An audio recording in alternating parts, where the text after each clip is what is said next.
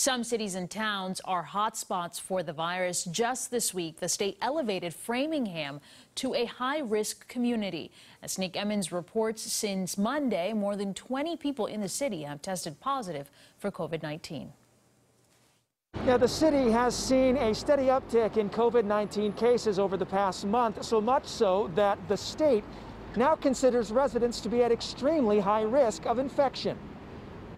But now we're experiencing a small surge of new cases. A new warning for residents in Framingham, the city now one of nine communities considered by the state to be at high risk of COVID 19. Right now, there are 145 active cases in the city. We are certainly not at the level of our first wave, but um, the fact that we are seeing more cases, um, it, it, it is concerning. The state determines risk by the average daily case rate.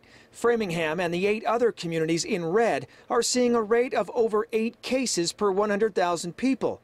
The uptick has health officials urging residents to stay vigilant. Wearing an effective face covering is still going to be a one single thing that is most effective in controlling the virus, short of a, a effective vaccine. I mean, it's kind of scary. Jonathan Montanez and Molly Ford say too many people are not wearing masks in crowded places. Yeah, you see a lot of people without masks, and they like walk right next to you, like no concern of space, personal space, or anything like that.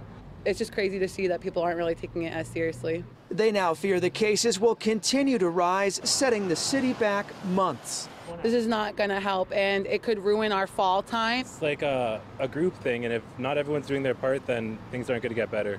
Health officials really hammering home the point that it is going to take everyone working together to curb this latest trend and avoid an outbreak. In Framingham, I'm Nick Emmons, WBZ News.